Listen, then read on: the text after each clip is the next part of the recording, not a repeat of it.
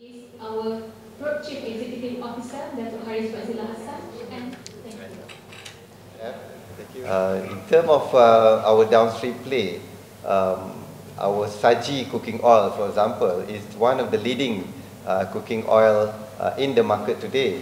Uh, so from a market share of 27%, we have now grown to about 30% in the last count with regard to the market share. So we are a major uh, player with regard to the cooking oil. So we'll further uh, ride on the strength of Saji by introducing new products, as what I mentioned, four new products uh, will be launched uh, in order to maintain or gain more uh, domestic market.